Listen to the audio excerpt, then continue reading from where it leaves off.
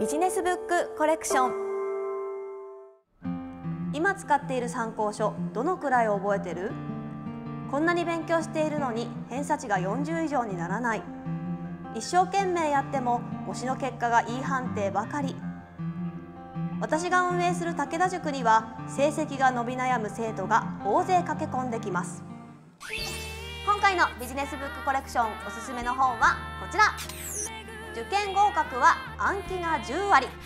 この本を書いたのは武田塾塾長の林直弘さん。